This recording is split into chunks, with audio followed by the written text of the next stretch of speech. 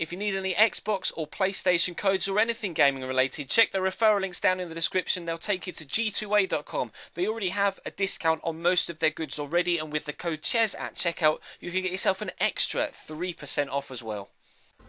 Hey guys, how's it going? Ches back again and welcome to episode number 121 of the Career Mode Road to Glory here on FIFA 15. We start with an incredible cup game against Arsenal. Genuinely, the most entertaining game and end-to-end game that we've had so far in this Career Mode Road to Glory in all five seasons to this point. There are some transfer decisions to be made towards the latter stages of this episode as well, but we need to concentrate on this game right now because it really was an absolute cracker. Fielding a weakened side though against Arsenal in this, of course, first leg of two in the Capital One Cup semi-finals. Everton have beaten Manchester United in the first leg of their two in uh, the other side of the draw. I'm not really too sure whether it was the uh, a home leg or an away leg in their favour, but uh, Everton did come away with a 2-1 victory. We'd be quite happy with a similar scoreline in this one, so long as it was in our favour. But as you can see, Arsenal starting a very strong lineup, and like I say, we were having a bit of a weakened side. The fixture list, as you saw in the last episode, is ridiculously congested, and I'm just rotating players as best I can to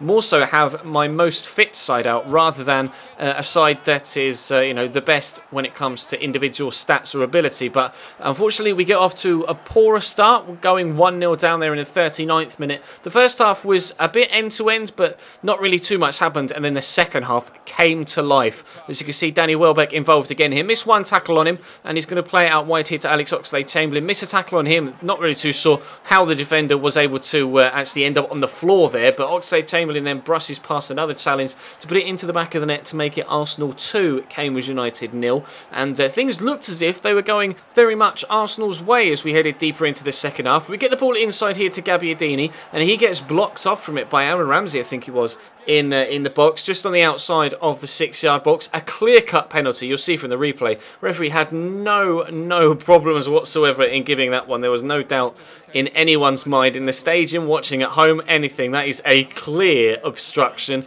Down goes Gabbiadini, up steps the... Uh, now injured or currently carrying a knock, uh, Cassada powers it into the top right hand corner. My nerves went a little bit as uh, the goalkeeper went the right way, but straight to pick up the ball to try and get it back up the other end. Straight from kickoff though, Arsenal fly up the other end, and it's Dusan Tadic dancing down the left hand side. He's going to stand the cross up to the middle, and of all people to put it in the back of the net, Romelu Lukaku in an Arsenal shirt. Everton in the other half of the draw, but he's in this half of the draw playing for Arsenal. So immediately after we'd scored to bring it back to 2 1, they went and made it 3 1. So I thought. Ah, game over. It really does look out of our hands right now. But then we get this free kick and we make it 3-2. Game on again in the 77th minute as they brought on Sanchez for Cazorla to try and freshen things up for them offensively. And then from kickoff again, they're going to go up the other end. Dusan Tadic into Danny Welbeck. Finds Romelu Lukaku about 30 yards out. Hits it first time. And how is that for a screamer? It was game over. Then it was game on again. Then it was game over. Then it was game on again as we made it 3-2. And now surely it's game over as Lukaku scores from 30 yards. They're trying to score a fifth here, pushing a lot of men forward, but we're going to catch them on the counter attack. Here's Strail Georgiev coming up towards the 90th minute, twists and turns around Per Mertesacker, rifles it into the back of the net. 89 minutes 20 seconds on the clock. It's 4-3. Game on again. We're still in stoppage time at the end of the second half. We get a free kick here. Last chance saloon for us. Francisco Signorelli is going to play it short to Michael Woods. Around the corner to Georgiev. Shrugs off the challenge of the defender. Shows the presence of mind to square it to the back post. And Adarabio makes it Cambridge United 4.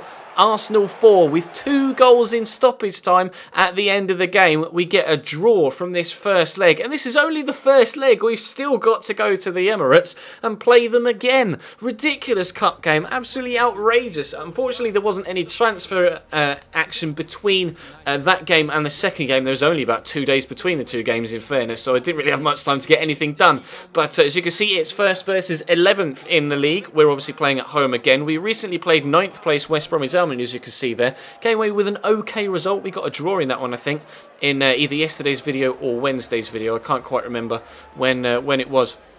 Uh, it won't be yesterday's, was it? Because you'll be seeing this on Friday, so it will either have been Wednesdays or Mondays. But uh, I'm hoping for a decent result here against West Ham, obviously at home again, playing my stronger side in this one. And uh, they've got Andy Carroll up top alongside uh, Maiga, with uh, Ravel Morrison sat behind them. They're playing a rather adventurous 4 1 2 1 2 here, away from home.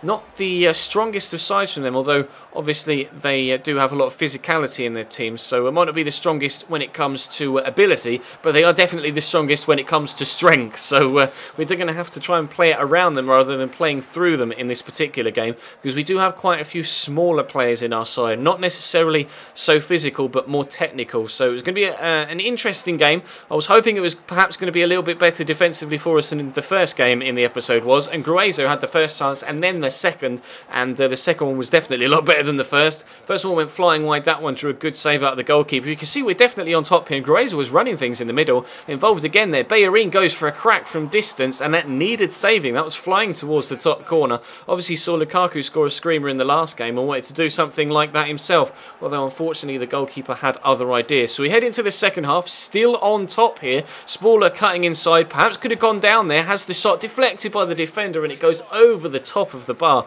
Real let off for West Ham there. They were really on their last legs defensively, but they catch me on the counter attack here. Ravel Morrison into uh, Kasami, plays it through to Andy Carroll, clean through on his left hand side. You expect him to score there, but he draws a good save out of the goalkeeper, and we live to fight another day. But they came on the attack again. A lot of men back this time, though, and I was a little bit wary not to give away a penalty. You can see me running up to the man, but not necessarily putting a challenge in. I just wanted to get in the way because I didn't want to put a foot in. Ended up losing a penalty. So Andy Carroll onto his right foot here, which you always want to do, but he punishes me for it. He is clearly just as good on his right foot as he is on his left, and that makes it West Ham United 1, Cambridge United nil very much against the run of the game in this particular encounter. And unfortunately, we, we're going to get one more chance to get ourselves back on level terms, and Rantie wastes it. How many times this season have we seen our new South African striker bury those, but that was a woeful finish, unfortunately, and we lose the game 1 0 at home against West Ham. So our chances are still alive in the Capital One Cup semi finals.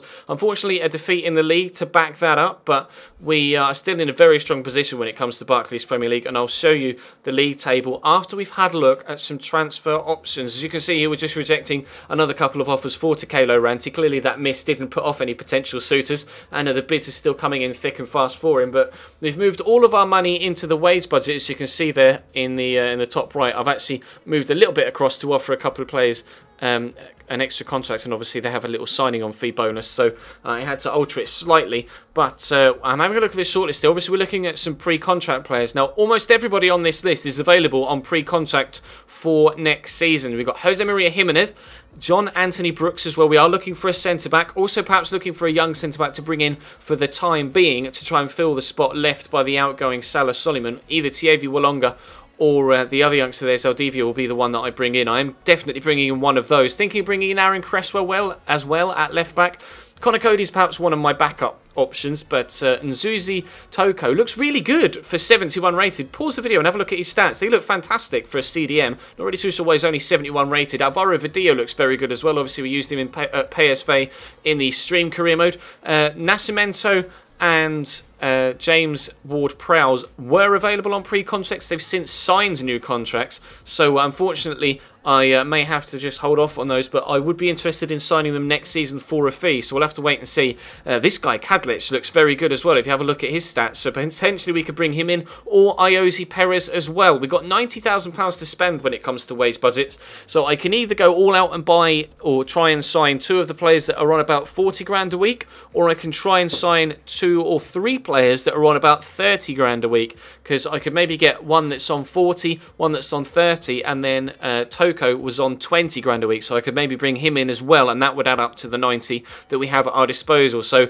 it's a decision that we've got to make over the next few days, and uh, obviously we'll uh, round out the transfer window either in tomorrow's episode or the episode after on Sunday. But that will bring today's video to a close. Thank you very much for watching. Drop the video a like if you enjoy, subscribe if you haven't already. As you can see, we are still top of the table, only by four points though, but everybody's played 22 games games, so still in a strong position, looking for a European spot if we can grab it by the end of this particular year. Obviously, 16 games still to go in the English Premier League, but that is all for now. Thank you very much for watching, guys, and I will see you next time.